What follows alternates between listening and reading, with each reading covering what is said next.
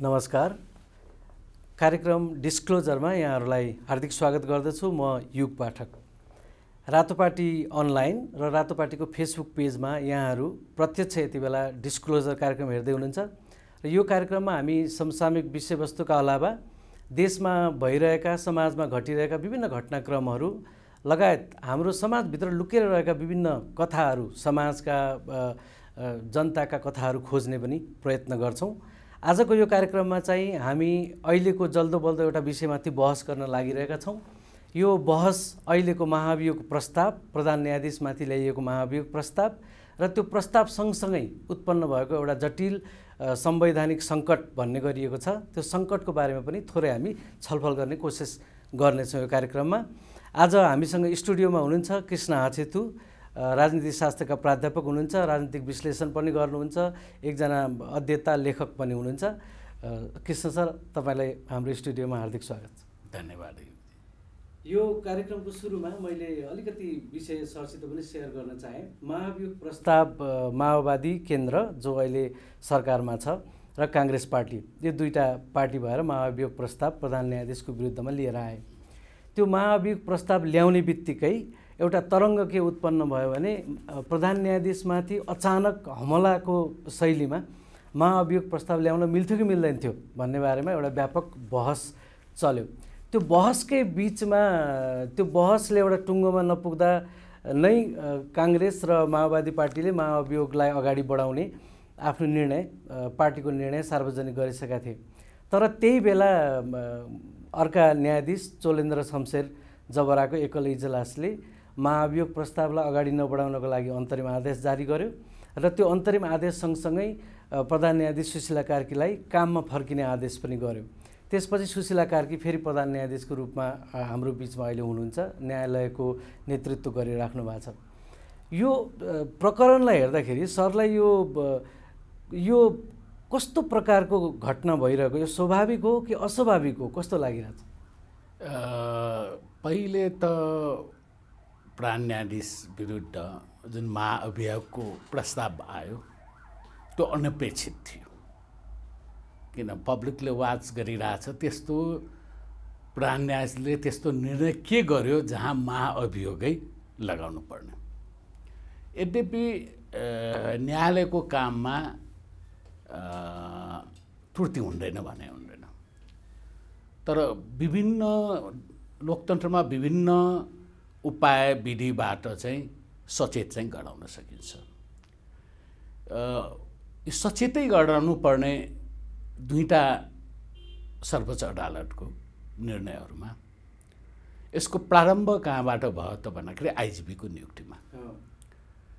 आइजिपीको नियुक्ति औपचारिक रूपमा मन्त्री परिषदले निर्णय गर्नु अगाडि नै सर्वोच्च अदालतले जुन अन्तरिम आदेश जारी गर्यो त्यो प्रिअम्प्ट होइन। त्यो त्यो एक प्रकारले चाहिँ अस्वाभाविक भयो एउटा त्यो हो।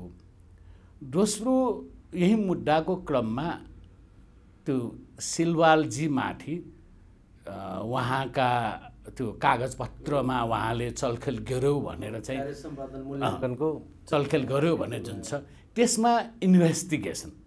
अथवा त्यो मु त्यो विषयको चाहिँ अनुसन्धान गर्ने भने त्यो एजुकेटिभको काम हो। त्यो पनि रोक्नु भनेर भन्दाखेरि यस्तो निर्णयहरू चाहिँ स्वतन्त्र न्यायपालिकाबाट अथवा पूर्वाग्रही ग्रह नभएको न्यायका पालिकाबाट अपेक्षा गर्दैन। यो यस्तो कुरालाई मिडिया मार्फत अथवा पार्लियामेन्ट मार्फत अथवा कार्यपालिका क्याबिनेटले नै विभिन्न भाषामा एक प्रकारले चाहिँ सचेत गराउन सकिन्थ्यो। तर जुन तहको एक प्रकारले चाहिँ यद्यपि यो यसलाई जुडिसियल एक्टिभिजम पनि भन्न मिल्दैन। त्यो बियोन्डमा बियोन्डमा गएपछि त्यो एक प्रकारले आफ्नो न्यायपालिकाबाट आउने निर्णयहरू अस्वाभाविक हुन थालेपछि त्यसलाई चेक गर्ने अरू बाटाहरू हुन्छन्। तर महाअभियोग नै लगाएपछि त्यो पचिएन। तपाईँले गरेको गल्ती अनुरूपको सजाय भएन मान्छेले स्वाभाविक रूपमा लिन्छ। एक त चाहिँ त्यो मैले सुरुमा प्रयोग गरेको त्यो अनपेक्षित के थियो त भन्दाखेरि त्यो महाअभियोगको तहमा जानुपर्ने एक्सनै होइन। दोस्रो अब महाअभियोग भनेको त्यसमा राजनीति मिश्रित हुन्छ। राजनीति मिश्रित हुँदा हुँदै पनि नेपालको राजनीतिलाई क्लोजली नजिकबाट हेरिराख्ने मान्छेहरूलाई के थाहा छ त भन्दाखेरि त्यो पास हुँदैन क्या दुई तिहाईबाट पास हुँदैन भनेपछि अब एक डे यो डेढ महिना जति जति बाँकी छ अँ, महा त्यो प्रधान न्यायाधीश। प्राण न्यायाधीशको पढाभरि त्यसमा पनि एक महिना त बिदा बस्ने परम्परा नै छ यो दस बाह्र दिन प्रधान जो पढा त्यो पढासीन थियो त्यो प्रधानमन्त्रीलाई पन्छाउने जुन एउटा चाहिँ यसलाई चाहिँ कलुषित अभिप्रायले ल्यायो त्यो त ठिक हुँदै भएन होइन? भनेपछि न्यायपालिकाले गरिरहेको काम पनि अनपेक्षित अस्वाभाविक देखिँदै थियो। त्यसपछि संसदमा दर्ता गरेको महाअभियोगले पनि केही निर्णयहरू जुन अघि मैले दुईवटा भने कमसेकम त्यो अस्वाभाविक थियो। अनि तर महाअभियोग त अनपेक्षितै थियो। झनै थियो। अस्वाभाविक। यस्तो अस्वाभाविक अस्वाभाविक घटनाक्रम सँगै फेरि जुन एउटा यो मुद्दालाई लिएर सर्वोच्च अदालतमा एकल बेन्चले प्राण न्यायाधीशलाई पुनर्स्थापित गरेर यो महाअभियोगको मुद्दा चाहिँ स्थगित गर्नु भनेर जुन अन्तरिम आदेश आयो यसलाई यो यो झन् चाहिँ के हो त भन्दाखेरि अङ्ग्रेजीमा अनएक्सपेक्टेड भन्छ नेपालमा के भन्यो त्यो? अनपेक्षित हो होइन? पहिलो त्यसमाथि पनि सरलाई थपिदिन्छु भने त्यसमाथि पनि चोलेन्द्र शमशेर जबराको त्यो जुन आदेश छ त्यो अन्तरिम आदेश त्यो अन्तरिम आदेश चाहिँ अ, लगभग लगभग कविता जस्तो छ। त्यो भावना त आफ्नो ठाउँमा भावनात्मक कुरा मात्रै छ। त्यसमा भनौँ न तपाईँको न संविधान कोट गरिएको छ न कुनै न्यायिक त्यो हुन्छ नि एउटा तरिका। त्यसमा म मैले अलिकति शास्त्रीय कोणबाट हेर्दाखेरि पनि के हो त भन्दाखेरि यस्तो गहन विषयमा अन्तरिम आदेश एकल इजलासबाट गर्नु उचित कि अनुचित? प्राविधिक रूपमा एकल इजलासबाट निर्णयहरू गर्छन् सर्वोच्च अदालत। तर मुद्दाको प्रकृति हेर्दाखेरि यस्तो गहन गम्भीर मुद्दामा अन्तरिम आदेश पनि एकल बेन्चबाट गर्नु मनासिब हो कि होइन? यो आफ्नो ठाउँमा छ। दोस्रो के हो त भन्दाखेरि संसारभरिको प्र्याक्टिसै के हो त भन्दाखेरि अघि म जुन महाभियोगको प्रस्ताव त्यसलाई एक प्रकारले सत्ता शक्ति र संविधानको प्रावधानको दुरुपयोग भन्छु। होइन? त्यो दुरुपयोग हुँदाखेरि कार्यपालिका व्यवस्थापिकाले दुरुपयोग हुँदाखेरि त्यसलाई सजाय दिने त जनता नै हो भोटर्स नै हो। होइन? त्यसले ठिक गरे पनि बेठिक गरे पनि। अनि त्यो यो मुद्दा त जनताको अदालतमा निर्वाचन मार्फत आउनु पर्यो। तर बिचमा जसरी चोलेन्द्र शमशेरजीको एकल बेन्चबाट अब एक प्रकारले संविधानमा स्पष्ट त लेखिएको यो महाअभियोगको व्यवस्थापिकाको एक्सक्लुसिभ पावर त्यो पावर चाहिँ प्रयोग नगर्नु भनेर चाहिँ भन्दाखेरि त्यो पनि अस्व अस्वाभाविक हेर्नुहोस् अस्वाभाविक अनपेक्षित अनि त्यसबाट फेरि अस्वाभाविक अँ, फेरि अस्वाभाविक यसले चाहिँ के सङ्केत गर्छ? भन्दाखेरि राजनीतिक ठाउँमा छैन।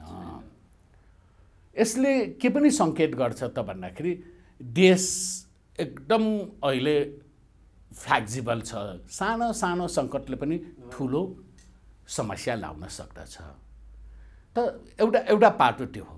त्यसैले धेरै मान्छेले शक्ति पृथकीकरणको सिद्धान्त विपरीत नेपालको राजनीति गयो भनेर भन्छन्। एउटा कोण? तर म अलिक भिन्न कोणबाट हेर्छु यसलाई? यो सजिलोको निमित्त हो कि? यो एक प्रकारले यो जे जस्तो अहिले चाहिँ सरकारले अथवा संसदले महाभियोगको प्रस्ताव राख्नु अदालतले प्रधान न्यायाधीशलाई फेरि पुनर्बहाली गर्नु महाभियोगको प्रस्ताव रोक्नु भन्ने आदेश अब व्याख्या गर्न सजिलोको निमित्त चाहिँ शक्ति पृथकीकरणको कोणबाट हेर्न छ? म अलिकति सरलाई यहाँ अलिकति रोक्छु म। र यो हामी र- यो बहस कन्टिन्यू गर्छौँ। त्योभन्दा अगाडि म दर्शकहरूलाई एकपटक बानेश्वरतिर लिएर जान चाहन्छु।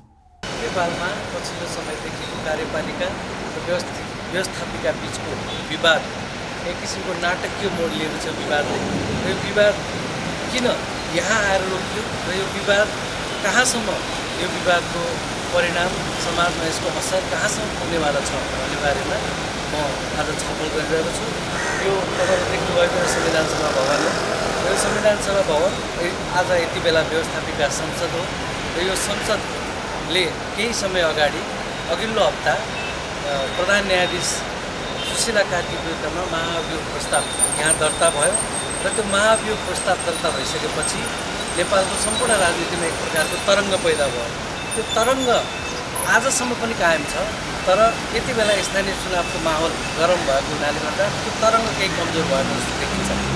अर्को महत्त्वपूर्ण के कुरा के छ भन्नुहुन्छ भने त्यो महाभियोग प्रस्ताव दर्ता भएको केही समय पछि नै चोलेन्द्र शमशेर जबराको एकल इजलासले त्यो महाभियोगको प्रस्ताव अगाडि नबढाउनको लागि अन्तरिम आदेश दियो र प्रधान न्यायाधीश सुशीला कार्कीलाई आफ्नो काममा फर्केर पनि आदेश त्यस पछाडि सुशीला कार्की पुनः पद बहाल हुनुभएको छ र सँगसँगै के अर्को बहसको विषयको विवादको विषय के उठेको छ भने चोलेन्द्र शमशेरले जारी गर्नुभएको फैसला जुन छ अन्तरिम आदेश जुन छ त्यो अन्तरिम आदेश चाहिँ तथ्यका आधारमा अर्थात् न्याय संहिताको आधारमा भन्दा पनि बाहिर गएर भावुक कविता जस्तो अर्थात् भावुक एउटा वक्तव्य जस्तो देखिन्छ र त्यो अन्तरिम आदेश जुन एउटा भावुक वक्तव्य जस्तो छ। त्यसले के भन्छ भने सारमा मलाई दुःख लागेको छ मलाई मेरो मनमा चोट पुगेको छ त्यसकारण यो महाभियोगको प्रस्ताव अगाडि बढाउने काम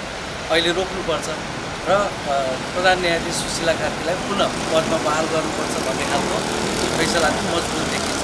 त्यस पछाडि यो यो बहसले यो कार्यपालिका व्यवस्थापिका र न्यायपालिका बिचको त्रिपक्षीय एउटा विवाद त्रिपक्षीय एक प्रकारको चाहिँ तपाईँको टसल एक प्रकारको टेन्सन जुन पैदा भएको थियो त्यो एक ठाउँमा पुगेर टुङ्गिएको छ। र साथसाथै अर्को महत्त्वपूर्ण कुरा के पनि छ भने त्यो बहसले कुनै स्पष्ट दिशा लिइसकेको छैन। संसदमा महाभियोगको प्रस्ताव यत्तिकै अलपत्र छ। यता सुशीला कार्की पद बहाल हुनुभएको छ र अर्को कुरा के यसभित्र जोडिएर आउँछ भने यो मुद्दाको टुङ्गो कसरी लाग्छ भन्ने बारेमा कोही कतैबाट केही बोलिरहेको छैन। अदालत पनि चुप छ कार्यपालिका पनि चुप छ र व्यवस्थापिका पनि चुप छ। यस प्रकारले यो नाटकीय द्वन्द्व यति बेला हाम्रो समाजको एउटा महत्त्वपूर्ण मुद्दा भएको छ र यसलाई यहाँ मैले जोड्न खोजेको कुरा के छ भने फेसबुक ट्विटर लगायत सामाजिक सञ्जालहरूमा चाहिँ यो मुद्दा व्यापक बहसको विषय बन्यो। यसको पक्ष र विपक्षमा मानिसहरू विभाजित भए र साथसाथै चोक बजारमा पनि यस यो विषयमा मानिसहरू विभाजित भए। कस्तो परिस्थिति आयो भने एक थरी मानिस महाभियोगको पक्षमा र एक थरी मानिसहरू महाभियोगको विपक्षमा यसरी लागेको देखियो कि अर्को पक्षको कुरा सुन्नै नसक्ने सुन्नै नचाहने र अर्को पक्षको कुरा गर्नु भनेको चाहिँ अपराध गर्नु भन्ने प्रकारले मानिसहरू प्रस्तुत भएको देखियो। के यसले नेपाली समाजलाई एक प्रकारको अराजकतातिर लगिरहेको देखाउँछ? क्लोजरमा फेरि एकपटक दर्शकहरूलाई स्वागत गर्न चाहन्छु। हामीसँग कृष्ण हाँसेतु राजनीतिशास्त्रका प्राध्यापक हुनुहुन्छ। सर अब हामी कुरा गर्दैथ्यौँ शक्ति पृथकीकरणको कुरा गर्दैथ्यौँ।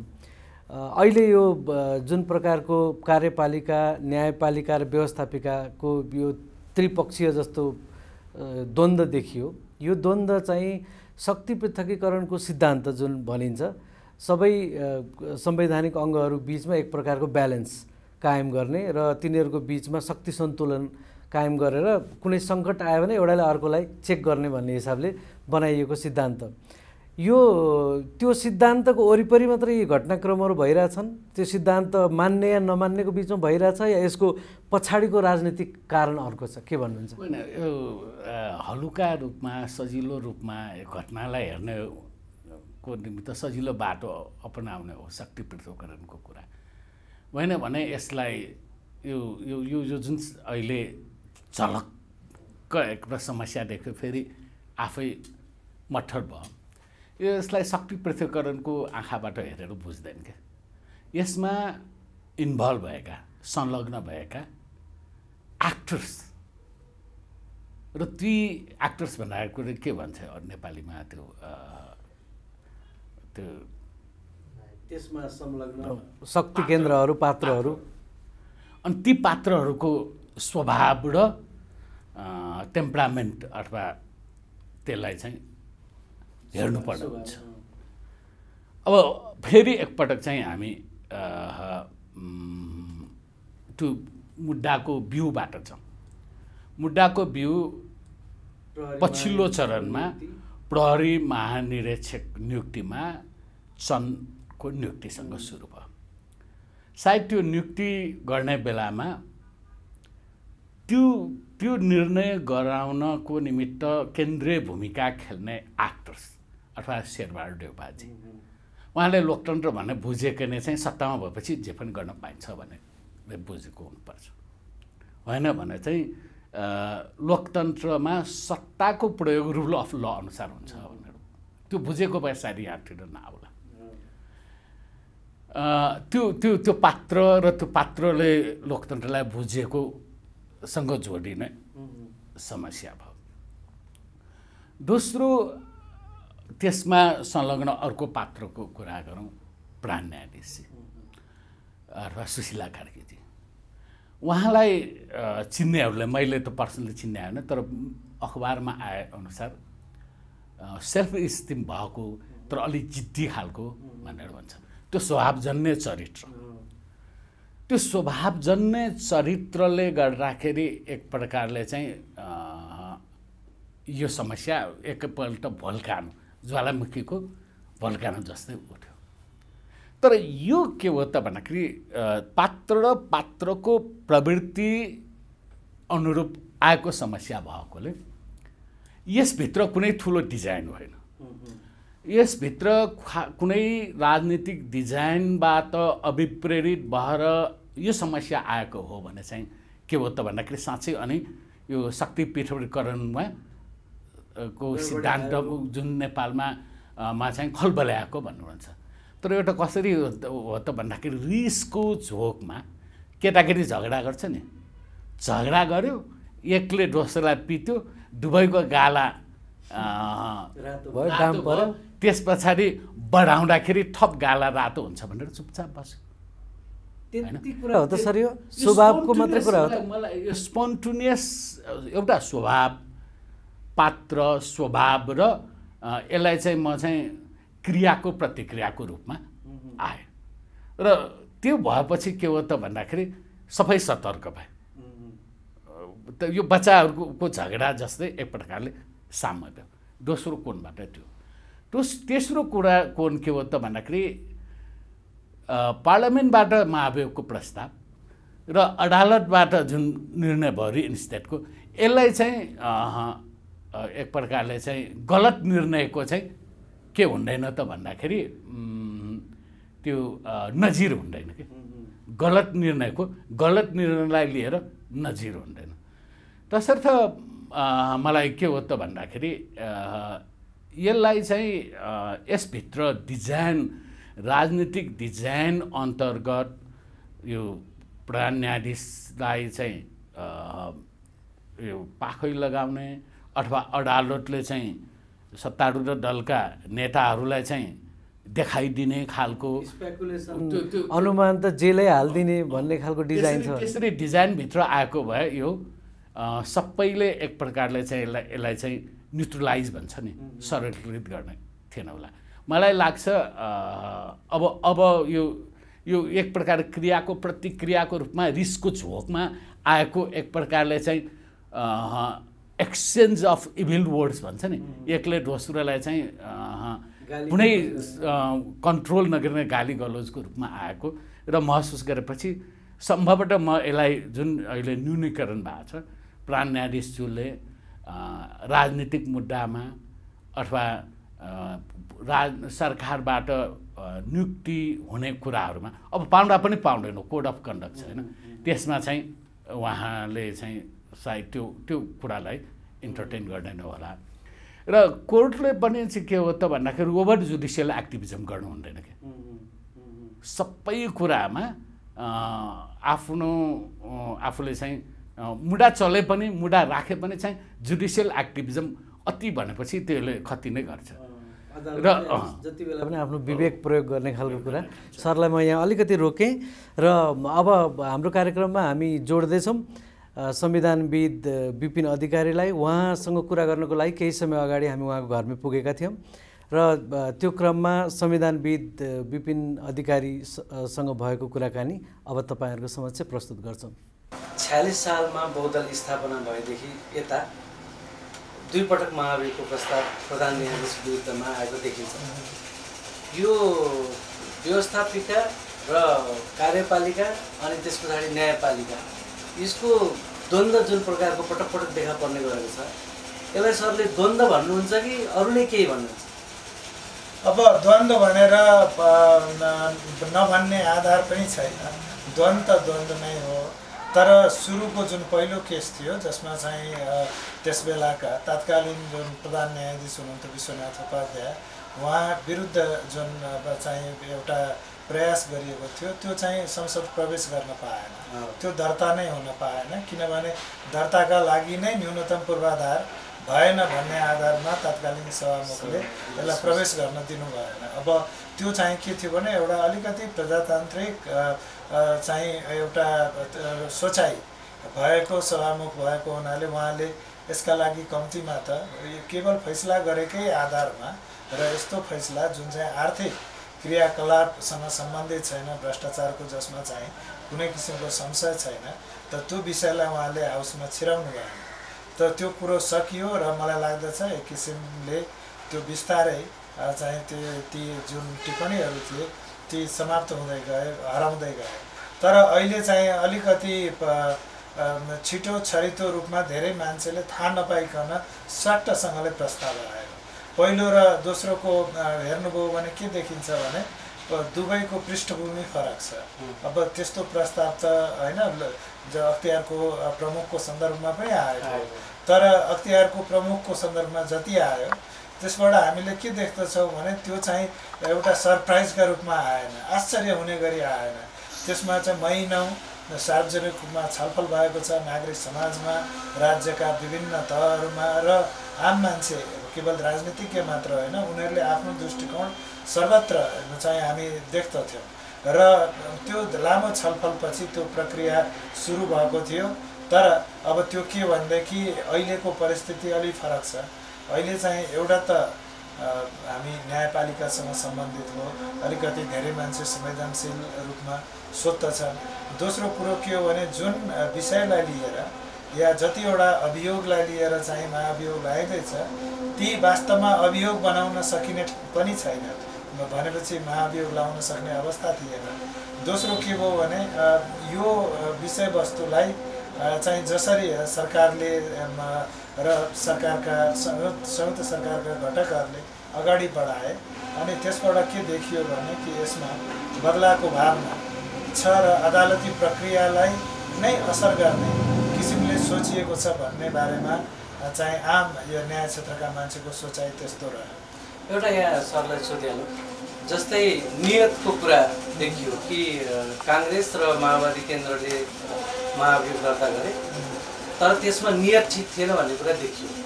तर फेरि त्यस पछाडि त्यो महाभियोग अगाडि नबढाउनु भन्ने अन्तरिम आदेश जुन न्यायाधीश चोलेन्द्र शमशेरले दिनुभयो त्यसमा त्यो आदेशमा पनि कुनै खास तर्क नदिइकन भावुकतापूर्ण कुरा गरेर मलाई चित्त दुख्यो त्यसकारण मैले उल्टाइदिएँ भन्ने प्रकारको। त्यो आदेश देखिन्छ। अब यसले चाहिँ उताको नियत ठिक थिएन। त्यसकारण तिम्रो नियतलाई म ठिक पारिदिन्छु भन्ने खालको द्वन्द्व देखिएन त्यो। अन्तरिम आदेशमा जुन रूपमा भाषाको प्रयोग गरियो त्यो चाहिँ अलिकति हाम्रो चलेको चलन होइन। त्यस हुनाले मलाई लाग्छ एउटा न्यायाधीशले जहिले पनि वस्तुगत रूपमा आफ्नो एउटा तर्कलाई प्रस्तुत गर्नुपर्दछ र कानुनबाट त्यसलाई चाहिँ बलियो बनाउनुपर्छ त्यसमा त्यो कमी कमजोरी देखिन्छ। तर अब फेरि अर्कोपट्टि हेर्दाखेरि के छ भने संसदमा जुन प्रक्रिया सुरु गर्न खोजियो हो त्यो प्रक्रियामा पनि एउटा कुरा के भने यो त्यसमा चाहिँ मान्छे विश्वस्त हुन सक्ने चाहिँ कारण थिएन। र संसदको विशेषाधिकारको कुरा गर्छ आजको जमाना विशेषाधिकारको होइन। आजको जमाना भनेको कानुनको शासनको हो।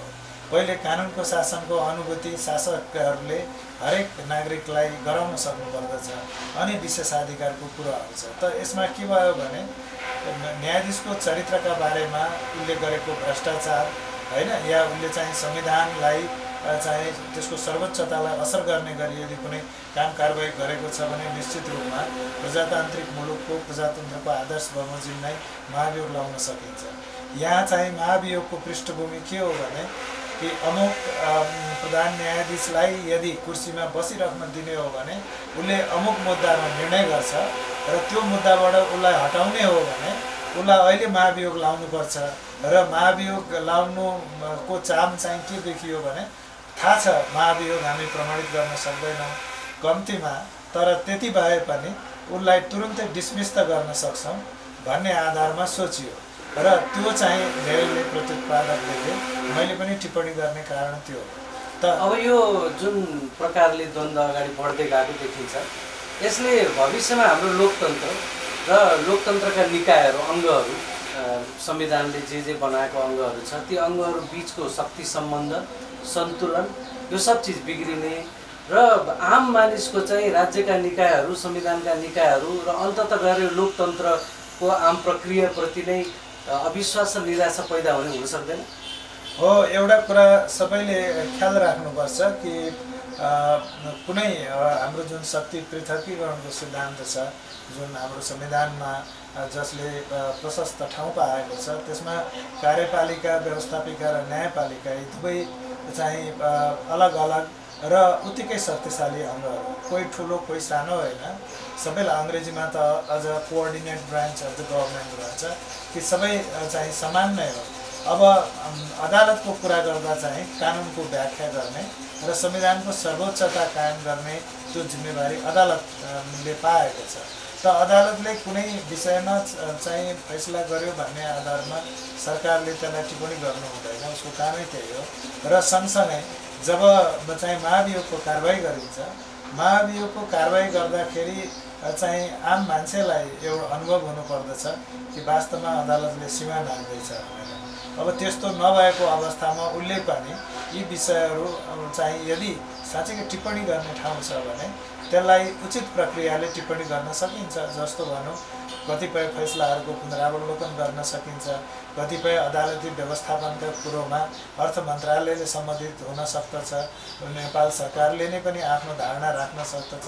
खालि के हो भने मुद्दा मामिलाको रोहमा उसले हस्तक्षेप गर्नु हुँदैन किनभने त्यसैको विरुद्ध त यो अदालतको सिर्जना गरिएको हो कि सरकारले शक्तिको दुरुपयोग नगरोस् भनेर। त्यस हुनाले त्यो कुरोलाई अलिक संवेदनशील भएर चाहिँ हेर्नु पर्दछ र अदालतले जहिले पनि राजनीतिक विषयहरूमा प्रवेश गर्नु हुँदैन। सकेसम्म राजनीति भनेको सरकार छ संसद छ उनीहरूले टुङ्गो लाउँछन् नीतिगत कुराहरू उनीहरूले गर्ने हो भन्ने आधारमा केवल कानुन र संविधानलाई लिएर मात्र चाहिँ अदालतले यदि आफ्नो निर्णय प्रक्रियामा चाहिँ अगाडि बढाउने हो भने धेरै कुराहरूमा चाहिँ राजनीतिक व्यक्तिहरू पनि तटस्थ बन्न सक्छ होइन? तर अब त्यो भइदिएन भने के हुन्छ भने कि अब जसको अधिकार छ ऊ त अदालत पुग्छ पुग्छ। र अधिकार चाहे त्यो प्रधानमन्त्रीको होस् चाहे संसदको होस् चाहे कार्यपालिका या तपाईँ हामी जस्तो सर्वसाधारणको होस् बराबरी हुन्छ। कसैका लागि विशेष हुँदैन। त विशेषाधिकार भनेको चाहिँ संसदभित्रका प्रक्रियाहरूलाई हो। त संविधानका मान्यताहरूलाई चाहिँ पाखा लगाएर अनि विशेषाधिकारको कुरो गऱ्यो भने त्यसले चाहिँ एउटा जुन हाम्रो उद्देश्य छ संविधानवादको त्यो चाहिँ त्यो चाहिँ पाखा लाग्न सक्छ। त त्यो कुरोलाई अर्को- सबैले विचार अर्को गर्नुपर्छ एउटा कुरा जोड्छु म।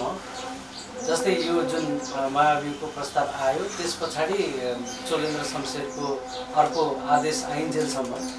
हाम्रो सोसियल मिडिया ट्विटर फेसबुक लगायत चिया पसल सबैतिर कस्तो माहौल देखियो भने मान्छे या त महावीरको पक्षमा हुनसक्छ या त विपक्षमा हुनसक्छ त्योभन्दा दायाँ बायाँ अडिएर कुरा गर्न मिल्दैन। अथवा महावीरको विपक्षमा भएका मान्छेहरूले महावीरको पक्षमा कुरा गर्नेलाई दुश्मन जस्तो ठानिहाल्छ जस्तो खालको प्रवृत्ति पनि हाम्रोमा देखियो। तपाईँलाई कस्तो लाग्छ जस्तो कि हाम्रोमा अलिक लामो परम्परालाई हो भने न्यायाधीश भनेको त लगभग ईश्वर जस्तो मान्ने अलि अगाडिसम्म पनि गणतन्त्र आउनुभन्दा अगाडिसम्म पनि न्यायपालिका र न्यायाधीशको बारेमा टिप्पणी गर्न नमिल्ने कयौँ प्रसङ्गमा बोल्यो कि त्यसलाई के अरे मानहानिको मुद्दा लाग्ने त्यस्तो खालको परम्पराबाट आएको छ हाम्रो। अब अहिले आएर हेर्दाखेरि यो अचानक महाभियोगको प्रस्ताव आयो भन्नुभयो तपाईँले रहस्यमय तरिकाले आयो भन्नुभयो। तर संसदको त्यो सामान्य अधिकार क्षेत्रको पनि कुरा त हो नि त होइन? अब यसरी हेर्दाखेरि अदालतलाई अझै पनि हामीले भगवानै मानिरहन खोजेको हो कि अथवा साँच्चीकै यो द्वन्द्व बढाउनमा चाहिँ पहिलो नम्बरमा दलहरूले काम गरेको अब सामान्य रूपमा हाम्रो के देख्दछौँ भने कि अदालतको एउटा पर- परम्परा छ लामो परम्परा छ र अदालतहरू भनेको क्रान्तिकारी निकाय होइन अदालतहरू बिस्तारो परिवर्तन हुन्छन् र समाजमा जुन परिवर्तन आउँछ त्यो त्यो जति जति समय सापेक्ष हुँदै जान्छन् अदालत स्वतः परिवर्तन हुनुपर्दछ त्यो त्यस्तो देखिन्छ तर अब अदालतको चाहिँ समस्या के हुन्छ भने उसले कानुनका आधारमा फैसला दिनुपर्छ र कानुन र संविधानमा जे छ शास्त्रले जे भन्छ त्यसका आधारमा दिने तर यो मोर्चाबन्दी गर्ने कुरा चाहिँ होइन। जस्तो अदालतलाई डिफेन्ड गर्ने त आम नेपाली जनताले हो। अदालतसँग सेना छैन पुलिस छैन उसको आफ्नो चाहिँ व्यवस्थापन बाहेक ठुलो निकाय छैन उसलाई चाहिँ संरक्षण गर्ने। त उसको संरक्षण भनेको उसको मूल्य मान्यता प्रतिको प्रतिबद्धता नै हो। अब तर अब हाम्रो जब राजनीतिक वृत्त यस्तो छ कि हरेक मान्छे आफ्नो अस्तित्वका लागि कतैतिर टाँसिने स्वतन्त्र भएर र आफ्नो व्यक्तित्व विचारका माध्यमले पनि हामीबाट चाहिँ एक्जिस्ट गर्न सक्छ टिक्न सक्छौँ भन्ने धेरै मान्छेलाई लाग्दैन अझ जो राजनीतिक वृत्तमा त त्यो सोचाइ नै छैन। त तटस्थ हुन नसकेको कारण त्यो हो। तर अब राजनीतिक क्षेत्रमा पनि त्यतिकै जिम्मेवार मान्छेहरू छन् जस्तै अहिलेकै विषयमा हामीले हेरौँ कि अदालत न त चुनौती दिने ठाउँ हो कसैलाई। न त अदालत के हो भने कानुनमा भएको कुरालाई को कोही बलियो छ भन्ने आधारमा कम्प्रोमाइज गर्ने ठाउँ हो। त अदालतले जहिले पनि वस्तुगत एउटा निर्णय गर्नुपर्छ। त्यो हो भने के हुन्छ भने कसैले पनि किन यो निर्णय भएछ भन्ने कुरामा न त चिन्तित हुनुपर्छ न त्यसबाट सशङ्कित हुनुपर्छ। त त्यसका लागि योग्य मान्छे न्यायाधीशका रूपमा नियुक्ति गर्ने अनि योग्यता के हो भन्ने कुरो चाहिँ व्यावसायिक रूपमा निर्धारण हुन दिने त्यो नभएर हाम्रो देशमा के छ भने अब पठाउने राजनीति गर्ने मान्छेले जसरी न्यायाधीशहरूमा भर्ती गरिरहेका छन् उनीहरूलाई चाहिँ जसरी चाहिँ एउटा भनौँ न उनीहरूको क्षमतालाई नहेरिकन चाहिँ अवसरहरू दिने र त्यसका आधारमा जब हाम्रो हामीले देखेका छौँ कि नियुक्ति पाउने बित्तिकै पार्टीको कार्यालय अ, मा चाहिँ आशीर्वाद लिन गएका मान्छेहरू हामीले देख्यौँ। त यी कुराहरूले के देखिन्छ भने कि न्यायाधीश र न्यायको जुन एउटा वस्तुगत आधार हुन्छ। त्यसलाई असक्षमताले कदाचित पिरोलिरहेको हुन्छ। र अनि मान्छेलाई लाग्छ कि न्यायाधीश ल मेरो पार्टीको मान मान्छे किन चाहिँ निर्णय अर्कोपट्टि दिएछ? त्यसका आधारमा पनि कतिले चाहिँ कमेन्ट गरिरहेका हुन्छ र अदालतको बल भनेको निष्पक्षता हो। जति अदालत स्वतन्त्र हुन्छ निष्पक्ष हुन्छ र मनोगत भन्दा पनि वस्तुगत आधारमा निर्णय गर्दछ त्यति अदालत बलियो हुने हो। अनि त्यस्तो अदालतलाई अरूले छुन पनि सक्दैन। त हाम्रो परिप्रेक्ष्य त्यस हुनाले अलिकति कमजोर भएको छ तर अहिले पनि देखियो जसरी चाहिँ मुद्दाको उठान भएको थियो। यो बिस्तारो पाखा लाग्दैछ मान्छेहरू सुरुमा जसरी सोचे पनि यो अदालतप्रतिको दृष्टिकोण अलिकति स्थिर बनाउनुपर्छ र हामी यो अदालतलाई टिप्पणी गर्दा यो आफ्नो पनि चाहिँ यो व्यक्तित्व हेर्नुपर्छ भन्ने अन्तत स्थापित भएरै गयो नि. अहिले हामीले देख्दछौँ। त्यस हुनाले रियाक्सन भन्दा पनि अलिक थटफुल प्रोसेसमा जानुपर्छ। अब अन्तिम प्रश्न सरलाई सोध्छु। सरले भन्नुभएको जस्तो भन्न त बाहिर भनिएको छैन तर अहिले जसरी महाभियोग प्रकरण ठन्डा हुँदै गइरहेछ यसभित्र चाहिँ हिडन कम्प्रोमाइजले काम गरेको छ पनि भन्छन् मान्छेले। अब कम्प्रोमाइज के गरेको छ हामीलाई थाहा भएन त्यो सिधै बाहिर भनिएको छैन।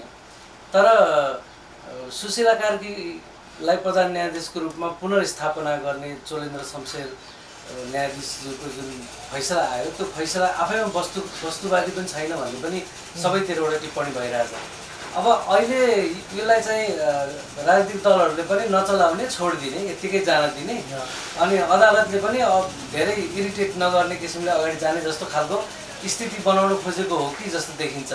यो चाहिँ विभिन्न हाम्रो संवैधानिक अङ्गहरू बिचको द्वन्द्व व्यवस्थापनको तरिका हो कि द्वन्द्वलाई फेरि खरानीले छोप्ने तरिका हो?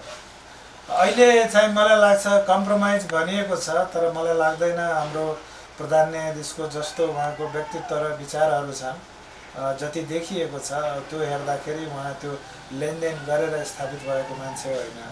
र कम्प्रोमाइज गरेको भन्ने लाग्दैन तर अब न्यायिक परिपाटी के हो भने एउटा आउटगोइङ चिफ जस्टिस जुनसुकै न्यायाधीश पनि जब ऊ चाहिँ अब रिटायर हुन लागेको छ भने उसले अन्तिम दिनहरू आफ्नो चाहिँ यो सक्रिय भएर चाहिँ मुद्दा मामिलाको फैसला गर्ने त्यस्तो गर्ने चलन छैन हाम्रो। र त्यो अरू ठाउँमा पनि त्यही नै हो। र अहिले त विवाद पनि आयो। त त्यो विवाद पनि हेरेको र संसद अलिकति संसदसँगको चाहिँ सम्बन्धलाई हेर्दाखेरि यो तत्कालै बेन्च ग्रहण गर्नलाई चाहिँ त्यो आफ्नो एउटा नैतिकताले नदिएको पनि हुन सक्दछ। तर अब हाम्रो प्रायः जसो के छ भने विदा भएर जाने न्यायाधीशहरूले अन्तिम दिनहरूमा फैसला अब त्यो परम्परा हो। त त्यो परम्परा निर्वाह गरेको पनि हुन सक्दछ तर त्यो लिखितम रूपमा त्यस्तो केही छैन। द्वन्द्व व्यवस्थापन त्यसले जाला त। मलाई द्वन्द्व व्य- मलाई लाग्छ राजनैतिक वृत्तमा जस्तो अहिले निर्वाचनको बेला थियो र अदालतमाथि सरकारले हात हाल्यो भन्ने कुरो अब प्रशस्त आयो। त्यसमा अतिरञ्जना हुन सक्दछ तर सामान्य मान्छे हामी जस्तो मान्छेले पनि यो जुन महाभियोगको जसरी प्रक्रिया अगाडि बढाइयो त्यसमा हामीले आफ्नो चाहिँ सहमति दिन सकेनौँ। टिप्पणी नै गऱ्यौँ आम मान्छे त सुनिरहेको छ देखिरहेको छ। र सरकार यी, अम, का घटकहरूलाई लागेको हुनसक्छ हामी निर्वाचनमा जाँदैछौँ र आफूलाई बदनामीबाट बचाउनुपर्छ र त्यो कारणले गर्दा त्यो चाहिँ अलिकति एउटा डिग्निफाइड तरिकाले चाहिँ बिस्तारै चाहिँ पन्छिएको पनि हुनसक्छ धन्यवाद। क्लोजरमा यहाँहरूलाई फेरि एकपटक स्वागत छ। हामी रातो पार्टी अनलाइन र रातो पार्टीको फेसबुक पेजबाट प्रत्यक्ष प्रसारणमा छौँ।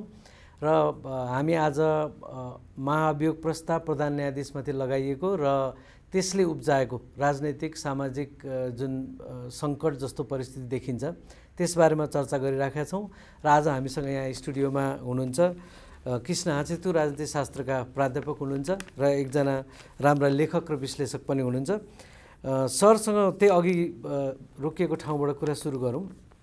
यसलाई शक्ति पृथकीकरणको कोणबाट व्याख्या गर्ने चाहिँ व्यापक प्रचलन भयो पक्ष र विपक्ष महाअभियोगको पक्षमा हुने पनि विपक्षमा हुने पनि।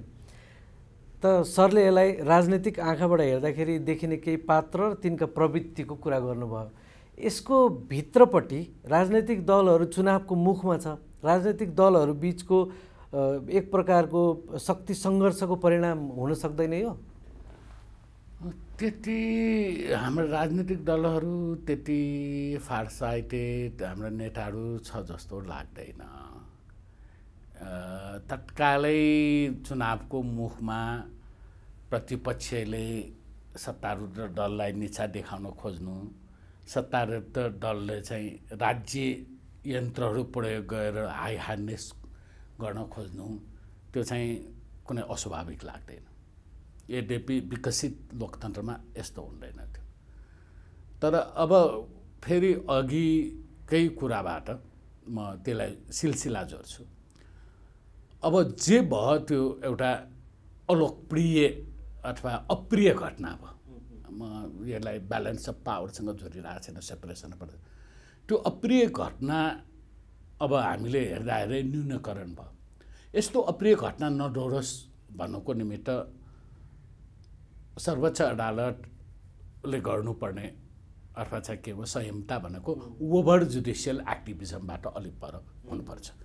राजनीति शास्त्रको विद्यार्थीले नेपालको न्यायपालिकालाई पछिल्लो चरणमा खास गरेर यो टु थाउजन्ड टुवेल्भदेखि हेर्दाखेरि अलिक बढी ओभर जुडिसियल एक्टिभिजम छ। ओभर जुडिसियल एक्टिभिजमले राजनीतिक सङ्कट चाहिँ एग्रिभेट गर्छ। तर ठिक चिजको पनि बेठिक चिजको पनि एउटै पक्ष मात्र हुँदैन एउटा हातले ताली बज्ने जस्तै। दोस्रो के हो त भन्दाखेरि अस्ति जुन अप्रिय घटना अप्रत्याशित अनपेक्षित रूपमा आयो त्यसको एउटा रुट पनि हेर्न जानु पर्यो त्यो रुट के हो त भन्दाखेरि नेपालमा यो दोस्रो जनआन्दोलनपछि जे जस्तै नियुक्तिहरू हुन्छ नि राजनीतिक नियुक्तिहरू ठुला पदमा नियुक्तिहरू हुन्छन्। त्यो अंशभन्डाको आधारमा नियुक्त हुन थाल्यो। अंशभन्डाको आधारमा नियुक्त हुन जाँदाखेरि त्यसको त्यो स न्यायपालिका त्योबाट अछुतो रहेन। अब नियुक्ति पनि अंशबन्डाकै आधारमा भयो। त न्यायाधीशहरू शपथ ग्रहण पछाडि पार्टी कार्यालयमा गएको समेत खबर आयो। न्युजहरू त्यस्तो खबरहरू आए। यो हुँदा हुँदा चाहिँ अब एक प्रकारले चाहिँ कन्टेम्प अफ कोर्ट भनेर लाग्ला भनेर मान्छेले थाहा त भन्दैन होला। तर साथी साथीहरूको अथवा विभिन्न जमघटहरूमा के हुन थाल्यो त भनेको सर्वोच्च अदा- अदालतका फलाना फलाना न्यायाधीश कङ्ग्रेस नजिक फलाना फलाना न्यायाधीश एमाले नजिक भनेर अथवा फलाना फलाना माओवादी नजिक भनेर। न्यायपालिका जो स्वतन्त्र निष्पक्ष हुने ठाउँमा त्यहाँका न्यायाधीशहरूले को पछाडि पार्टीको टोपी लगाइदिएपछि त्यो त्यो रुट के हो त भन्दाखेरि त्यो रुट चाहिँ एजुकेटिभ हो है फेरि। त्यो रुट चाहिँ अंशभन्दाको अ, जस्तै गरेर चाहिँ जुन पद वितरण अथवा पदको अवसर दिनेछ नि यो कुरा न्यायालयमा पनि चाहिँ न्यायालय यसबाट मुक्त छैन। पछिल्लो चरण जुन न्याय परिषदले यो हाइकोर्टका उच्च अदालतका न्यायाधीशहरू अस्सीजना नियुक्ति भयो त्यो त्यो त्यहाँ पनि त प्रश्न उठाएको थियो ए त्यहाँ पनि भागभन्डा गरे पार्टी पार्टी भनेर छ। अनि भागभन्डाबाट पदाधिकारी नियुक्त गरेपछि कहाँ दर पैदा कहाँ हुन्छ त भन्दाखेरि आफूले आफ्नो भागमा नपरेको मान्छे त्यो पदमा पुगेपछि ऊबाट डर हुने भएन। यसले मलाई सिद्ध्याउँछ कि भनेर। त्यो रुट चाहिँ के हो त भन्दाखेरि अब सचिनु र सच्याउनु पर्ने कार्यपालिकाबाट यसको रुट आउटै गर्ने हो भने चाहिँ यो दलीय भागभन्डाको सहमतिको नाममा राजनीति नियुक्ति बन्द गर्नुहोस्। अनि डराउनु पर्दैन। साँच्चैकै स्वतन्त्र साँच्चैकै निष्पक्ष मान्छे कुनै पनि पदमा होस् चाहे अख्तियार प्रमुखमा होस् चाहे सर्वोच्च अदालतमा होस् चाहे महालेखामा होस् डराउनु पर्दैन। यहाँ त के हो त भन्दाखेरि? सरलाई जोड दिन्छु म एउटा कुरा। जस्तै अघि हामी अनौपचारिक प्रसङ्गमा कुरा पनि गरिरहेको थियौँ। बाहन्न सालमा पनि एकपटक प्रधान त्यति त्यति बेलाको प्रधान न्यायाधीश विश्वनाथ उपाध्यायमाथि महा महाअभियोगको सूचना संसदमा दर्ता गरिएको थियो। त्यति बेलाको विषय के थियो भन्दाखेरि त्योभन्दा अगाडि गिरिजाप्रसाद कोइरालाले संसद विघटन गर्ने आफ्नो विशेषाधिकार प्रयोग गरेर संसद विघटन गरिदिनु भयो त्यसको विरुद्धमा रिट पर्यो विश्वनाथ उपाध्याय प्रधान न्यायाधीश हुनुहुन्थ्यो। उहाँको इजलासले यो रिट खारेज गरिदियो त्यस पछाडि अर्को मध्यावधि निर्वाचन पछाडि एमाले सबभन्दा धेरै सिट जित्यो र एमालेका प्रधानमन्त्री भए मनमोहन अधिकारी अल्पमतको सरकार थियो। काङ्ग्रेसले अविश्वासको प्रस्ताव लिएर आयो। अविश्वासको प्रस्ताव फेस गर्नुभन्दा प्रधानमन्त्रीले संसद विघटनको बाटो समाते। संसद विघटन भयो तर त्यसलाई फेरि प्रधान न्यायाधीश विश्वनाथ उपाध्याय नै हुनुहुन्थ्यो। उहाँको इजलासले चाहिँ त्यो निर्णय चाहिँ फेरि गलत हो भनेर खारेज गरिदियो। यो अगाडिको र पछाडिको निर्णय एकैजना प्रधान न्यायाधीशको फरक फरक देखियो एउटै विषयमा। त्यस पछाडि महाअभियोगको प्रस्ताव एमाले का झलनाथ खनालले त्यति बेलाको प्रधान न्यायाधीशको विरुद्धमा संसदमा सूचना दर्ता गरे। त त्यसलाई त्यति बेलाको सभामुख रामचन्द्र पौडेलले प्रस्तावको रूपमा अगाडि बढाएनन् प्रस्तावै खारेज गरिदिए। तर त्यसले पनि एउटा कुरा त देखाउँछ नि कार्य व्यवस्थापिका र न्यायपालिका अथवा कार्यपालिका र न्यायपालिकाको बिचमा एक प्रकारको द्वन्द्व त्यति बेलादेखि नै छ। त्यति बेला त दलीय भागभण्डामा थिएन। भनेपछि त्यहाँदेखि यहाँ आइपुग्दाखेरि केही न केही हाम्रा संवैधानिक अङ्गहरूको बिचमा शक्तिको सङ्घर्ष कुनै न कुनै रूपमा चलिरहेको थियो भन्न सकिँदैन। अलि अब यसको निमित्त तपाईँ धेरै विराट रूपमा सोधी खोजी गर्नुपर्ने कुरा जस्तो भयो। कुरा के हो त भन्दा चुरो कुरा एक चौथाइ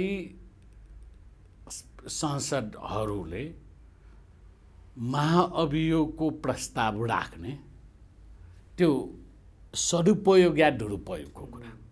त्यो अधिकारको दुरुपयोग। त्यो शक्तिको दुरुपयोग त्यो बेला गर्न खोजिएको थियो। त्यो बेला रोक्यो। या यो बेला पनि चाहिँ सभामुखले चाहेको भए रोक्न सकिन्थ्यो। त्यो अब सायद त्यसभित्रका के के एउटा कम्प्लिकेटेड पार्टहरू थाहा छैन। मैले अघि एउटै मात्र भने के त भन्दाखेरि गलत निर्णय चाहिँ नजिर बन्दैन भनेर। राइट अहिले आएर हेर्दाखेरि पनि कस्तो देखियो भने जस्तै प्रधान न्यायाधीश पुनर्स्थापित हुनुभयो उहाँले आफ्नो काम सुरु गर्नुभयो। त्यस पछाडि संसदमा दर्ता गरिएको महाअभियोग प्रस्ताव चुपचाप छ। अनि राजनीतिक दलहरू संसद सबैले यसबारेमा थाहा नपाए जस्तो गरिरहेछन्। यो चाहिँ के सजिलो रिजोल्युसनको बाटो सजिलो समाधानको बाटो खोजिएको हो त? यो सबैले आफ्नो क्षेत्रबाट गरेका गल्तीको महसुस रियलाइजेसन हो यो भन्छु। रियलाइजेसनको कारणले गर्दाखेरि त नर्मलाइज भयो। होइन? र रह्यो म फेरि चाहिँ यस्तो अप्रिय घटना नडोस् भनेको कुरा तिमी त सम्बन्धित सबै सरोकार पक्षवालाहरूबाट गर्नुपर्ने हुन्छ। कुराहरू लिस्ट आउट गऱ्यो भने लामो होला। तर छोटकरीमा भन्दाखेरि मैले भने कि अदालतको सन्दर्भमा चाहिँ ओभर जुडिसियल एक्टिभिजमबाट मुक्त गर्नु पऱ्यो आफूलाई त्यहाँबाट।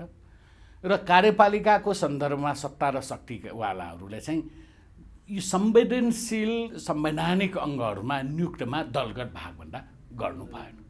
त्यो दलगत भागभन्दाले चाहिँ पहिलो शिकार चाहिँ आफै हुँदो रहेछ। राइट अथवा सुदृढीकरणको भोलिको निमित्त यस्तो अप्रिय घटना नडोरोस् भन्ने चाहिँ त्यसरी चाहिँ सुरुवात गर्न सकिन्छ। दोस्रो यो धेरैले को छलफलको कुराहरू छ। यो शक्ति पृथकीकरण शक्ति पृथकीकरणको कुरा छ नि। सैद्धान्तिक रूपमा हेर्दाखेरि यो राष्ट्रपतीय व्यवस्थामा मात्र हुन्छ। संसदीय व्यवस्थामा कमसेकम कार्यपालिका र व्यवस्थाबिच चाहिँ शक्ति पृथकीकरण भनेको शक्तिको के भन्छ? कोलाबोरेसन हुन्छ। समायोजन हुन्छ।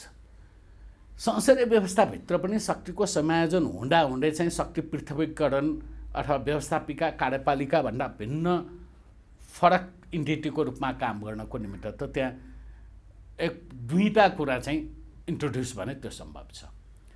एउटा बजेट र सरकार ढाल्ने विषय बाहेकको नीतिगत सवालमा चाहिँ सबै सांसदहरूलाई चाहिँ यो यो कन्साइन्स भोट भन्छ नि। उनीहरूको पार्टीको विप नलागिकन आफ्नो विवेकले विप दुईवटा कुरा मात्र लाग्नुपर्छ। एउटा कुरा बजेटको कुरामा अर्को कुरा चाहिँ सत्ता ढल्ने सरकार एनुअल पोलिसी भन्छ नि वार्षिक योजना छ। बाँकी कुरामा विवेक दियो भने अनि व्यवस्थापिका साँच्चै कार्यपालिकाभन्दा स्वतन्त्र रूपमा काम गर्न सकिन्छ। दोस्रो व्यवस्थापिका यो सेपरे सेपरेसन अफ पावर अथवा चाहिँ शक्ति पृथकीकरण भनेको हरेक अङ्ग स्वतन्त्र रूपमा काम गर्ने हो नि त। संसदीय व्यवस्थामा चाहिँ व्यवस्थापिका कार्यपालिकाभन्दा स्वतन्त्र रूपमा काम गर्ने सक्ने दोस्रो उपाय दोस्रो विधि भनेको त्यहाँ ककसलाई ठाउँ दिनु पऱ्यो ककस भनेको त्यो ककस चाहिँ पेसागत हुनसक्छ त्यहाँ जितेर गएका उद्योगपतिहरूको आफ्नो ककस हुनसक्छ त्यहाँ युवाहरूको पनि ककस हुनसक्छ जनजातिहरूको पनि ककस हुनसक्छ मधेसीको पनि हुनसक्छ दलितको पनि छ। त्यो ककसले के गर्छ त भन्दाखेरि विभिन्न पार्टीमा छरिएका व्यक्ति व्यक्ति सभासदहरूको एउटा समूहगत हुन्छ। त्यसले सरकारलाई चेक गर्न सक्छ। अब हामी कहाँ ककस भनेपछि त्यो फुटेको आँखाले नहेर्ने ठाउँ। अब सभासदलाई चाहिँ कन्साइन्स भोट भनेको चाहिँ अभ्यासै नगर्ने ठाउँमा त्यसकारण चाहिँ हाम्रो हामी कहाँ? कमसेकम कार्यपालिका र व्यवस्थापिकाको अन्तर सम्बन्धको सवालमा यो शक्ति पृथकीकरणको आँखाबाट हेर्दाखेरि राजनीति बुझिँदैन उल्टो बुझिन्छ। रह्यो न्यायपालिकाको सन्दर्भमा। न्यायपालिकामा रा दलीय राजनीतिको प्रवेशबाट डरको पैदा त्यसको सुरुवात जो जो कर्ता छ नि त्यही कर्ताहरूबाट सुरु अदालतकै न्यायपालिकाकै सन्दर्भमा एउटा अर्को प्रसङ्ग थोरै जोड्छु म। जस्तै हाम्रोमा चाहिँ अदालत कसरी बनेर आयो आजसम्म भन्ने कुरा चाहिँ हाम्रो चाहिँ हिन्दू धर्मशास्त्रको नियमबाट अदालतको प्रकार धर्माधिकारी हुँदै धर्माधिकारी चाहिँ राजगुरु हुने हुँदै त्यो प्रणालीबाट आयो। अस्तिसम्म गणतन्त्र घोषणा हुनुभन्दा अलि अगाडिसम्म पनि अदालत र न्यायाधीशहरूको बारे विरुद्धमा अथवा उनीहरूको बारेमा टिप्पणी गर्नु या बोल्नु या लेख्नु भनेको चाहिँ ठुलै अपराध जस्तो मानहानि लागिहाल्ने खालको होइन एउटा डरलाग्दो कुरा जस्तो हुने। र न्यायाधीश र न्यायपालिका भनेको चाहिँ ईश्वरको अवतार जस्तो मानिने। यो चिजले कुनै न कुनै रूपमा हाम्रो अदालतको प्रक्रिया अथवा न्यायाधीशहरूको मनोविज्ञानमा र अदालतलाई हेर्ने सर्वसाधारणको मनोविज्ञानमा प्रभाव पारेको छ कि छैन? यो यसमा के हो त भन्दाखेरि तपाईँबारे बोल्न पाइँदैन भनेपछि त्यो पाक्छ कि? अथवा अदालतका न्यायाधीशहरूको अथवा नेपालमा चाहिँ घुस खाने सरकारी संयन्त्रहरूमा कोभन्दा को कम भनेर आउँदाखेरि अदालत पनि आउँछ त्यो किन त भन्दाखेरि त्यो अलि यथार्थभन्दा एक्ज्याक्जेरेट किन गर्छ त भन्दाखेरि एउटा के बोकेर ल्यायो त भन्दाखेरि नेपालमा सेना र अदालतको बारे नबोलौँ भनेर। तर सेना पनि सचिने इन्स्टिट्युसन हो अदालत पनि सचिने इन्स्टिट्युसन हो भने। अदालत पनि एक प्रकारले चाहिँ सर्वसाधारण नागरिक नागरिक समाजको स्क्रुतनीभित्र बस्नुपर्ने हुन्छ अदालतका निर्णयहरूमाथि क्रिटिकल कमेन्ट्स भन्छ।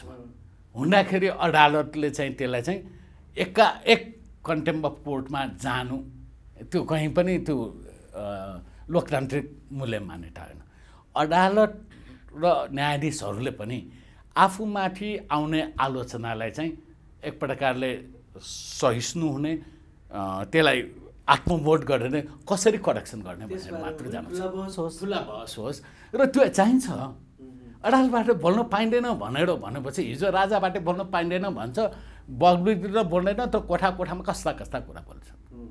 त्यसैले के हो त भन्दाखेरि लोकतन्त्रमा पब्लिक स्क्रुतिनीतिमा कुनै पनि राज्यका अङ्ग अलग हुन हुँदैन। मिल्दैन। यदि चाहिँ हामीले एक प्रकारले भाइब्रेन्ट लोकतन्त्रतर्फ उन्मुख हुने हो। अब अन्तिममा एउटा अर्को डाइमेन्सनमा थोरै कुरा गरौँ। त्यो महाभियोगको प्रस्ताव आएदेखि आजसम्मको सरसर्ती सामाजिक सञ्जाल फेसबुक ट्विटर र चोक चोकमा हुने गफ अनि पत्र पत्रिकामा छापिएका अरू मिडियाबाट आएका समाचारहरूलाई हेर्दाखेरि अनि लेखहरूलाई हेर्दाखेरि कस्तो देखिन्छ भने आम मानिस चाहिँ मानौँ दुई खेमामा विभाजित छन्। या त महाअभियोगको पक्षमा या त महाअभियोगको विरुद्धमा होइन? पछि आएर चोरेन्द्र शमशेर जबराको अन्तरिम आदेश आइसकेपछि फेरि त्यसको पक्षमा र त्यसको विरुद्धमा। यसरी चाहिँ दुई खेमामा विभाजित भएको जस्तो हाम्रो समाजको त्यो देखियो। र यस यो चिजले इलेक्सनमा पनि प्रभाव पारेको छ भन्ने एक थरी मानिसको अनुमान छ। सरलाई के लाग्छ यो चिज चाहिँ सामान्य हाम्रो सामाजिक मनोविज्ञानको मात्रै विषय हो अथवा हाम्रो राजनीतिक दलहरू हाम्रो राजनीतिक परिवेशको पनि परिणाम हो? के हो यो? यसलाई म दुईवटा कोणबाट हेर्छु। एउटा अहिलेका नयाँ युवा जेनेरेसनलाई त म भन्न सक्दिनँ। त्यसबारे मैले नजिकबाट अब्जर्भ पनि गरेको छैन। तर नेपालमा लेखपढ गर्ने मान्छेहरू चाहिँ सबभन्दा दलीय लाइनमा हिँड्ने यिनीहरू नै हुन्। होइन? त्यस कारण अघि तपाईँले भनेको यो सम माविको पक्ष र विपक्षमा अदालतको निर्णयको पक्ष र विपक्षमा भनेको यो कङ्ग्रेस माओवादी मन पराउने यता एक पक्षमा एमाले मन पराउने अर्को पक्षमा। यसरी हो दलीय विभाजन दलीय रूपमा मानिसको विभाजन निर्वाचन अगाडि त चाहिँ अझ बढी प्रकट नै हुने भयो।